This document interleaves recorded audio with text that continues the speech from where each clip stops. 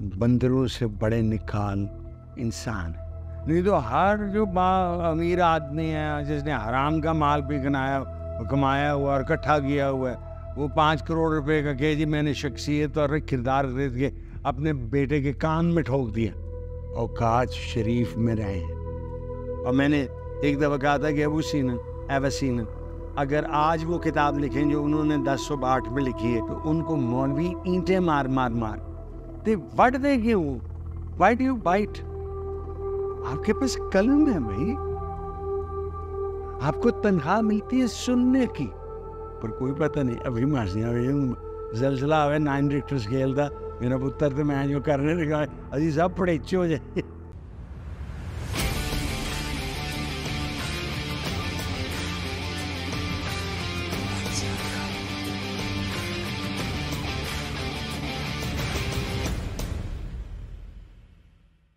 नाजीन अस्सलाम वालेकुम। वो आपके सवाल के साथ जो जवाब मैंने लिखे हैं, इन्हें जो पढ़े आपके सवाल, उनके मैं जवाब शुरू आपको देता हूँ। और ये प्रोग्राम इतना लंबा नहीं होगा, जिसे मैं बार बार कहता हूँ कि आप हाफ़ जाएँ जिससे, इस मुख्तसरी होगा।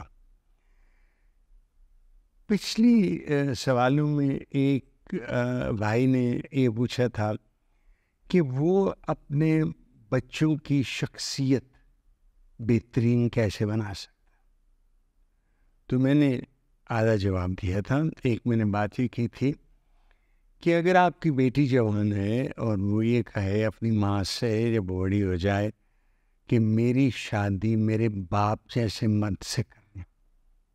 समझें कि आप कामयाब कामयाब इंसान है और कामयाब बाप।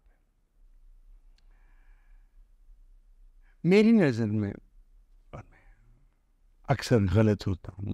मुझे कोई शौक नहीं है, या अहम नहीं है। कि मैं जो जो बात करता हूँ बिल्कुल ठीक होती हूँ।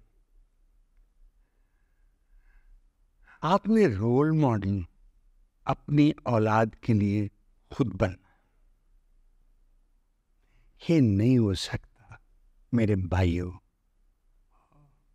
और मेरी बेटियों कि आप राशि हो, रिश्वत लेने वाले हो, आप झूठ बोल रहे हो, आपको गुस्सा बात बात पे आए, आप गालियाँ बके मुलाजमों को और मतायतों को तो आपके बच्चे ये नहीं सीखेंगे। लिख ले, वो सीखेंगे। जो नया बच्चा पैदा होता है उसका कहा जाता है कि उसके जो न्यूरॉन्स हैं, यानी दिमाग जो है, वो लाइक एन एम्प्टी स्लेट है। खाली।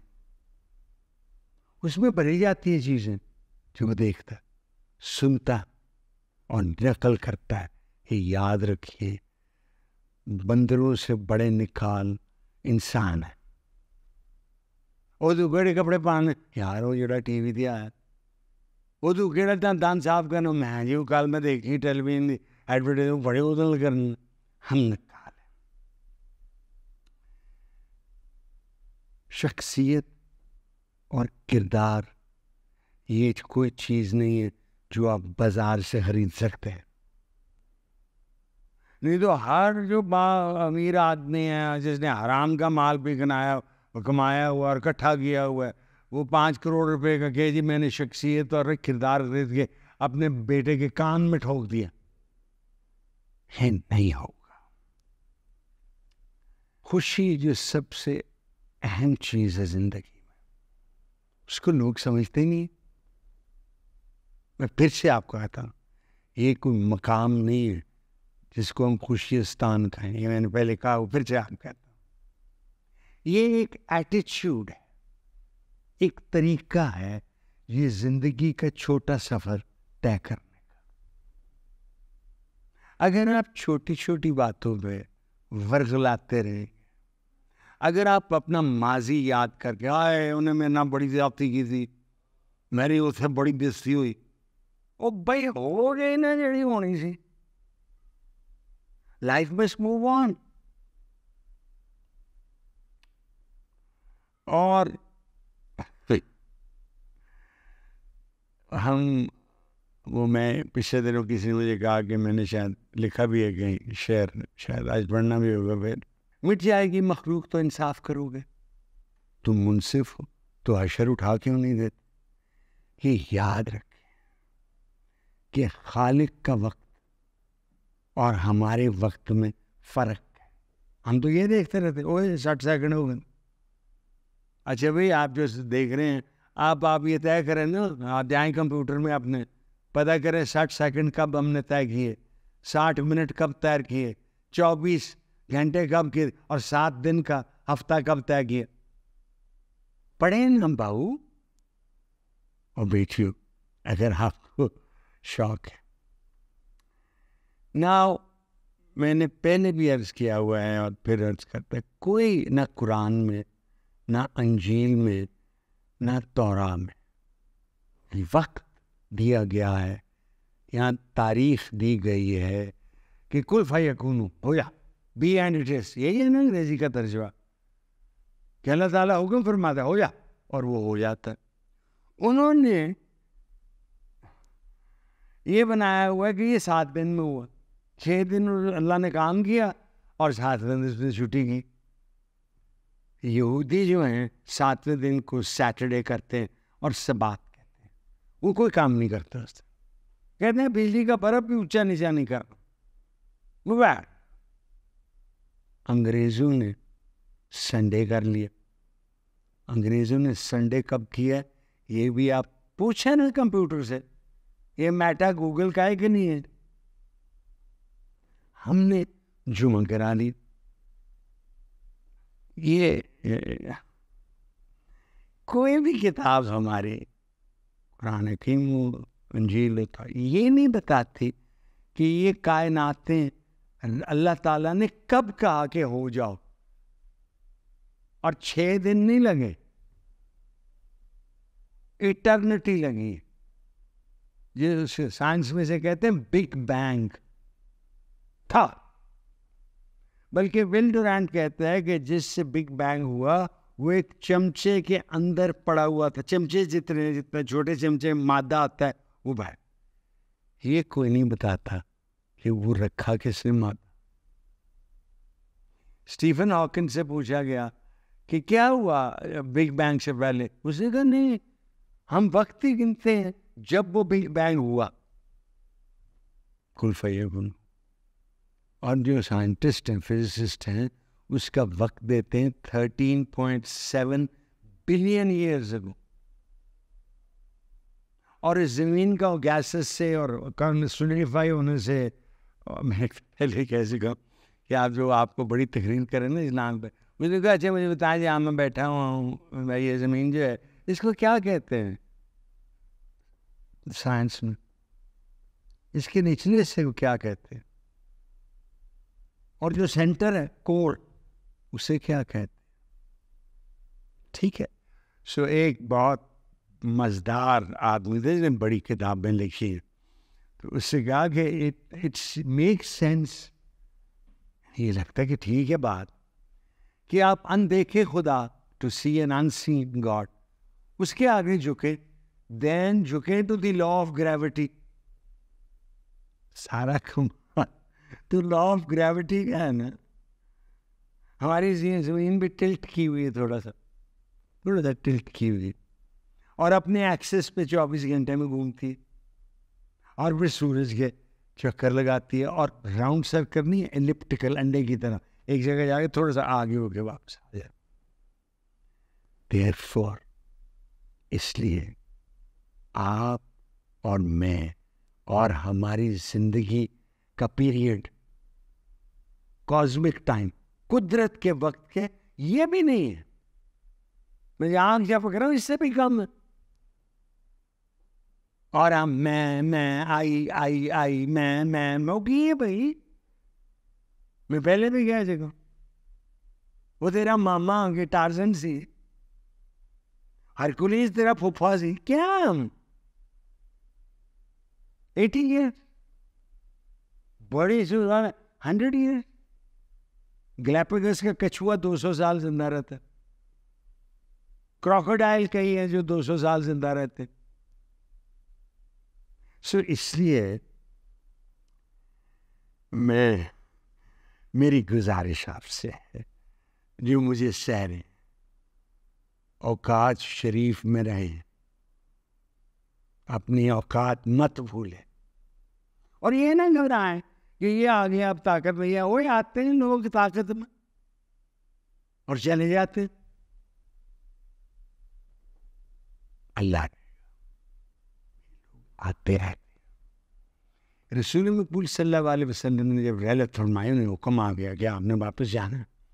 तो हज़रत उमर ने तलवार ने कहा, जिसने कहा कि रसूल मर गया, मैं गनता ने कहा ये कर दूँगा, वो कर दूँगा। हज़रत उमर जरा उसीले थे बाकमाल एडमिनिस्ट्रेटर थे, बाकमाल। बाकमाल एडमिनिस्ट्रेटर हज़रत अबू बकर ने कहा कि रसूल इंसान थे उसको बुला लिया रब ने अल्लाह है और उनका पैगाम जो रब ने भेजा जिसे हम कुरान कहते वो है तो ये अगर रसूल आखिरी रसूल ने रहनत फरमानी तो आप और मैं क्या है और ये बड़ा अफसोस है वो मर गया। वो भाई, किन्ने नहीं मरना?